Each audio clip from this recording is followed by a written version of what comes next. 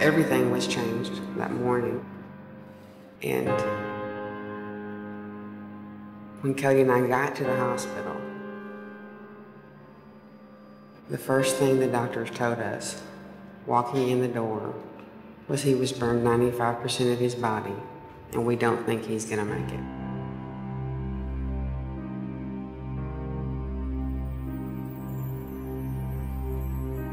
There's nothing you can say to that.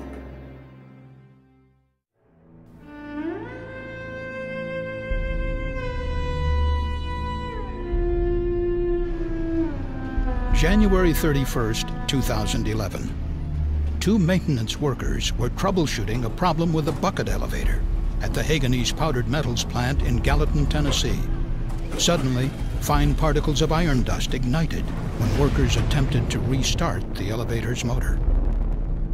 The CSB investigation into that accident was underway when just two months later, on March 29th, a similar flash fire burned another Hoeganaes worker at a news conference in Tennessee on May 11th, the CSB released laboratory test results demonstrating the combustibility of even small amounts of the iron dust when dispersed in air in the presence of an ignition source. Just 16 days after the CSB released those test results, on May 27th, a hydrogen explosion erupted in the plant. The blast shook loose iron dust accumulations from the upper reaches of the building which ignited and rained down on workers. Combustible dust is a serious workplace hazard across the country. Since the Chemical Safety Board was established in 1998, three of the deadliest accidents we have investigated have been combustible dust explosions. They are entirely preventable, just like the dust fires that occur at Hoeganaes. The Hoeganaes Corporation is a subsidiary of GKN, a multinational engineering company headquartered in the United Kingdom. The Hoeganaes Gallatin facility, located some 30 miles from Nashville, employs about 180 workers in the production of powdered metals with a capacity of 300,000 tons per year. The main product is over 99% pure iron powder, used primarily in the automotive industry. The manufacturing process releases combustible metal dust into the workplace. The dust must be controlled and not allowed to accumulate. But when the CSB examined the Hoeganaes facility after each of the three accidents, we were alarmed to discover literally tons of accumulated dust on surfaces throughout the facility. At the Hoeganaes facility, iron powder travels through the plant by a system of conveyors and bucket elevators. The belts on the bucket elevators had a tendency to become misaligned, causing the motors to overload and shut down.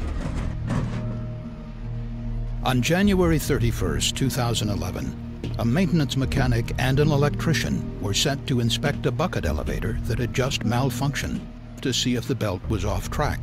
It appeared to be aligned properly, and the mechanics radioed the control room operator to restart the motor.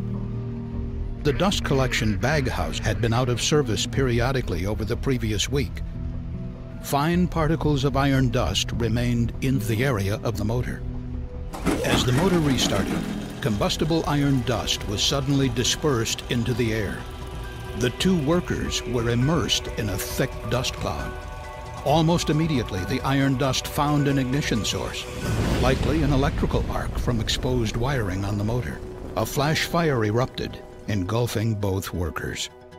Both men were severely burned. The first worker died from his injuries just two days after the accident. The second survived for nearly four months, but died in May of 2011. After the first accident, the CSB documented that combustible iron dust was visible in the air and that it coated most surfaces up to four inches deep. These CSB investigation photos show the accumulated dust on elevated surfaces, where the dust could be readily dislodged and ignited. The CSB report noted that engineering controls such as enclosing conveyors and installing properly designed dust collection equipment are the best ways to prevent dust accumulations. But as this CSB investigation video shows, the plant's powder handling equipment was not adequately sealed. Combustible dust was always present in the air inside the plant.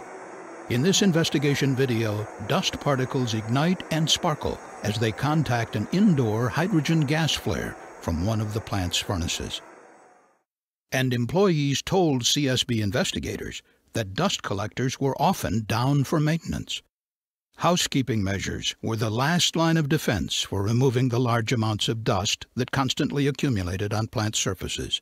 But the CSB found that housekeeping at Hoeganaes was ineffective. Those conditions led to a second serious accident at the plant, less than two months after the first deadly flash fire. On March 29, 2011, a Hoeganaes engineer attempted to reconnect a gas line to a 20-foot-high furnace following maintenance, but he was having difficulty. Standing on a ladder held by a second worker, he tried hammering the line into place. As the hammer struck, iron dust that had accumulated on the side of the furnace was lofted into the air. The iron dust ignited, burning the engineer, who jumped and fell from the ladder. Partly protected by a heavy flame-resistant coat, he received first and second degree burns to both of his thighs. The buildup of so much iron dust near a furnace with open flames and hot surfaces was a recipe for disaster. A fire was basically inevitable the moment the dust was lofted into the air. Even small amounts of iron dust can produce intense flash fires when ignited, as demonstrated in the CSB's laboratory testing. If just an ounce of dust can produce such a serious fire, you can imagine the magnitude of the fire and explosion hazard from the estimated tons of dust accumulated at the Hoeganaes plant. Still, Hoeganaes and its corporate parent GKN did not take effective measures to control the dust hazard. Around 6 a.m. on the morning of May 27, 2011, operators near one of the plant's furnaces heard a hissing noise that they identified as a possible gas leak. They believed that the leak came from piping somewhere below the furnaces. Inside a trench under large steel covers. Six mechanics were sent to find and repair the leak as another operator stood by. They assumed it was similar to another recent leak that involved nitrogen, an odorless, non-flammable gas. Unknown to the workers, the leak actually involved a different odorless invisible gas, highly flammable hydrogen, used in the plant's massive annealing furnaces. Using a forklift, maintenance personnel removed a trench cover above the area of the suspected leak. As the cover was wrenched upward, metal sparks ignited the hydrogen, causing a powerful explosion. Hydrogen continued to leak from piping, fueling a jet fire. The force of the explosion lofted large quantities of iron dust that had accumulated on rafters and overhead surfaces. Falling clouds of dust ignited as they contacted the flames below. Visibility was reduced by the large quantity of dust in the air. One eyewitness reported that even with a flashlight, he could only see three to four feet ahead as he tried to escape. Five workers, including the operator standing by the trench, and four of the mechanics were injured, three of them with severe burns. Two of those workers would die from their injuries within days. The third injured worker succumbed six weeks later. The CSB noted that on the day of the accident, maintenance crews were allowed to work without testing for dangerous concentrations of flammable gas, and that the facility had no procedures to properly mitigate flammable gas leaks. Hoeganaes did not have an effective mechanical integrity program, allowing corrosion in piping to go unnoticed until the piping failed. And despite mounting evidence of a serious hazard, Hoeganaes did not make major improvements in its dust control program. Hoeganaes tested its powdered metals for combustibility in 2009 and 2010, following warnings from an insurance audit about the potential for a dust explosion at the plant. The company collected and tested three powder samples in 2009, all of which had combustible properties similar to the dust later collected and tested by the CSB. Hoeganaes was also aware of the combustibility of iron dust because earlier flash fires had occurred when maintenance workers used welding torches on dust-covered conveyor belts. When the Hoeganaes facility was built more than 30 years ago, it was not designed according to good practice guidelines on combustible dust, such as those set forth by the National Fire Protection Association, or NFPA. And during its decades of operation, it was never redesigned to address the serious dust hazard.